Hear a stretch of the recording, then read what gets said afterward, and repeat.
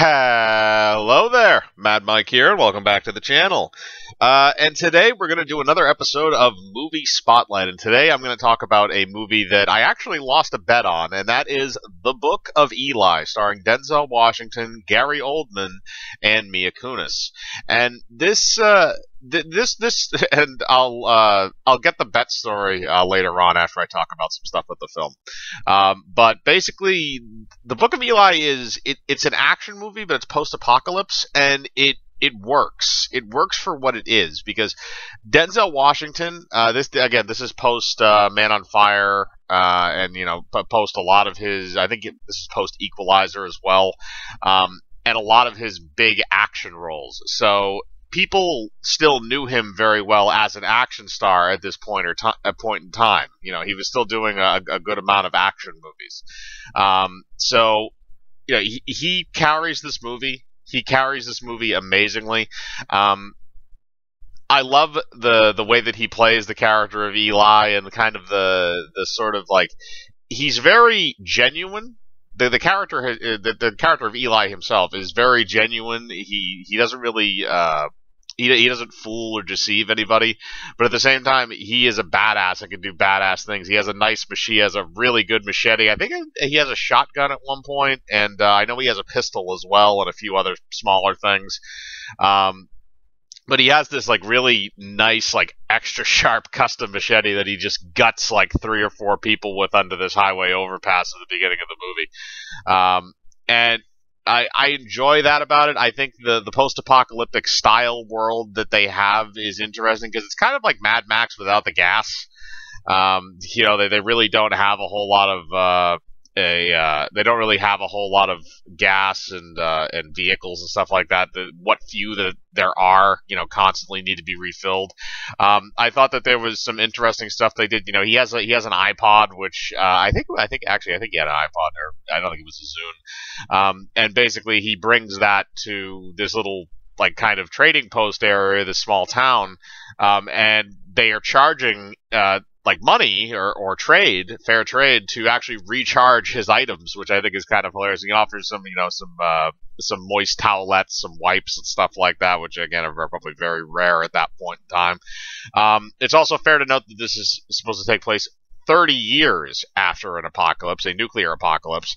Uh, so it is uh, not uh, so it, it's it's not like one of those like very clear apocalypse worlds where like all right everything kind of looks sort of similar. It's just like desolate wasteland.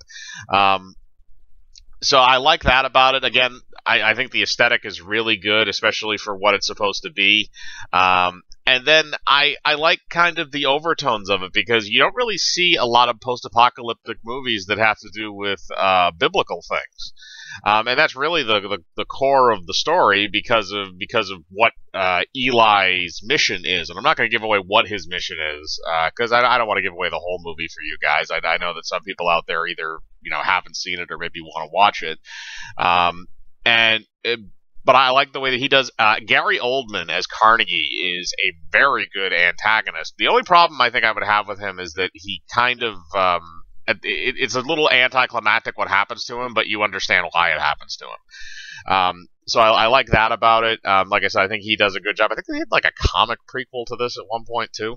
Um, and then Mila Kunis plays like this, uh, you know, this this young girl uh, in town who's basically the the daughter of this blind servant to Gary Oldman, um, and it's she does kind of a good job at being sort of going from innocent to you know her she actually probably has the furthest character progression in the film other than maybe Gary Oldman. Because um, Eli really doesn't change throughout a majority of the film. He's the same person really at the beginning of the film as we see at the end of the film. Um, but the the journey itself for him is is more interesting as you go further down the line. Um, so you know I like that about it. And now for the uh, now for the actual funny part of this. So at the time when this was coming out, again this was 2009.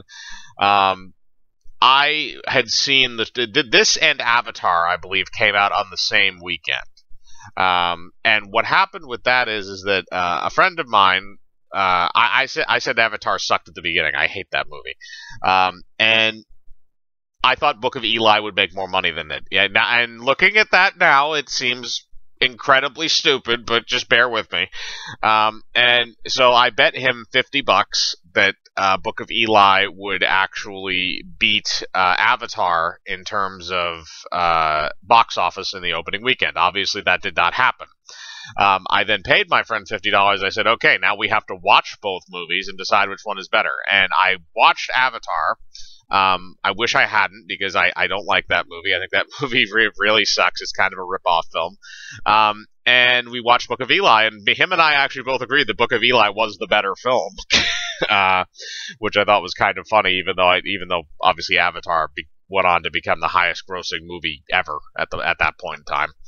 Um, but like I said, it's uh, that that was just kind of a funny little personal story uh, to go along uh, with this. But uh, you know, aside from that, there's not really enough good things that I can say about it because there's not a lot of really good post-apocalypse movies. Uh, you know, past like the year 2000.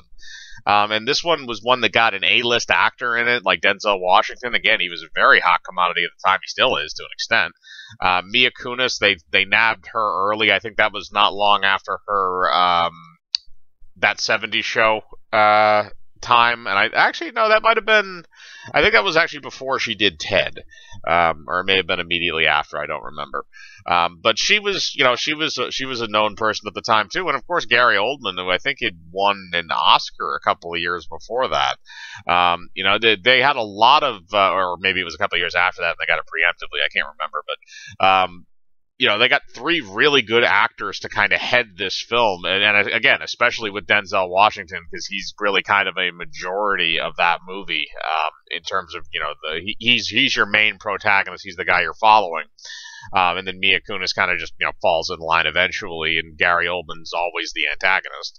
Um, but like I said, I, I, I enjoy that part of it. Um, I think that the musical score in it too is really nice. It's it's a really fun kind of musical score in terms of uh, you know I, I shouldn't say fun because it's very dreary because uh, of the point of it, but you know it uh, it helps accentuate the environment because most of the environment is this very like brown you know dusty world that you would attribute with kind of your standard uh, post-apocalypse setting.